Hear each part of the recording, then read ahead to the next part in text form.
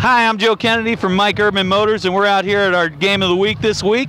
We got astronaut at Cocoa, and we're out here with a couple astronaut cheerleaders. And uh, what's your guys' name? I'm Haley. I'm Jamisha. And uh, how you guys feel about the game so far? We're actually um, excited that we're not losing too bad. You're excited you're not losing. yes.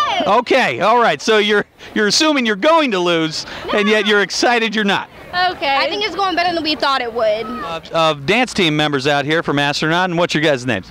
Caitlin Rose. Jordan Hughley. And Sierra Rich. What got you guys into dance?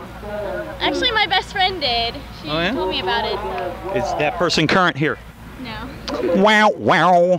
We got a couple band members, and what's your name? Uh, Sean Edney, I'm the drum major. I'm Brendan Hack. I'm the lead trombonist. All right, and drum major. What does that entail? Um, I'm the one who directs and stuff up on the top. I lead the band. All right, and how, how you guys feel about the game so far?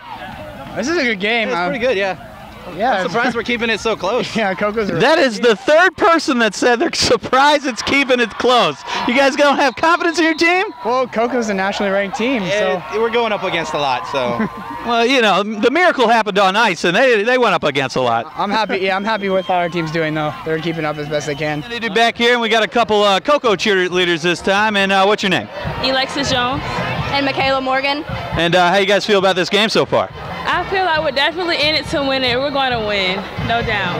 Um, I feel the same way, and I hope we win, which I know we will, so it's okay. Some people over there said it was a lot closer than you thought. What do you think about that? Yeah, it's a wrap. No. They're not gonna get it. Uh, we're out here with a couple band members. What's your name? Sabrina Brisker, Kenyana Fulmore. All right, and how you guys feeling about uh, the band so far playing? Oh, we feeling good. You think you're better than that band over there? Yeah. Yeah. A lot of people were saying that they should be up by more. What do you think? They Yeah, should. I They think they should. But it's beginning of the season, so we Maybe maybe you guys need to pump them up a little bit more. I'm just saying. As we went back down to the sideline, I'm going to bring you two defensive plays in a row. The first one is a second down play that is a big hit by Taekwon Pratt that brings up the third down. The third down play was a wild pass by Astronauts quarterback into the arms of Jamal Jackson, who runs it back for a touchdown. That put Cocoa on top 14 to 0.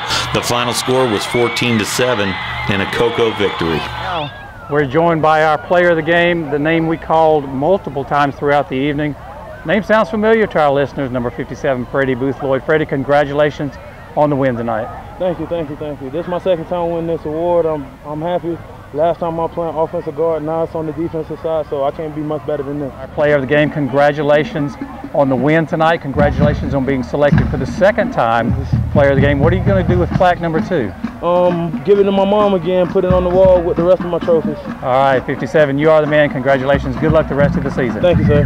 Thanks for tuning in and be sure to like us online so you can be tuned in each week